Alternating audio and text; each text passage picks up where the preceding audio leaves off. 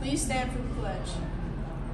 I pledge allegiance to the flag of the United States of America and to the republic for which it stands, one nation under God, indivisible, with liberty and justice for all.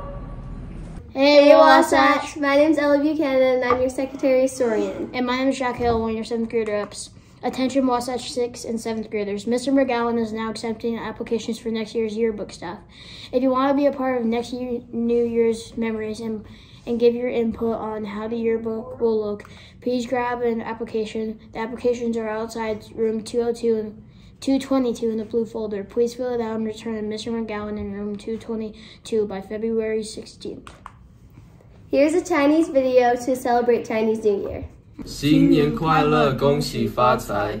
For Chinese New Year, we do riddles, and if you want to answer the riddles, put on a piece of paper your name and the answer to the riddle outside of Mr. Qua's room inside of a box. If you get the riddle correct, Mr. Qua will give you a gift. 中国新年不能做什么? What is not allowed on Chinese New Year? 中国新年多长? How long is the celebration of the Chinese Lunar New Year?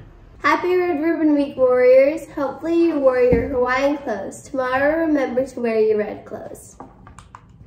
Uh, remember that all grades are welcome to join the spelling bee. The date is February 2nd at 12.30 in the auditorium. The sign-up sheet and words are in the front office.